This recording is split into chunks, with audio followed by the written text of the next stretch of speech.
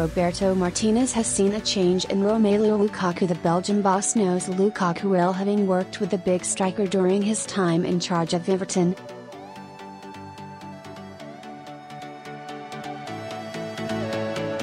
Martinez reunited with the United Ace during the recent international break. And he believes Lukaku now has the attitude to lead the line for one of the world's biggest clubs.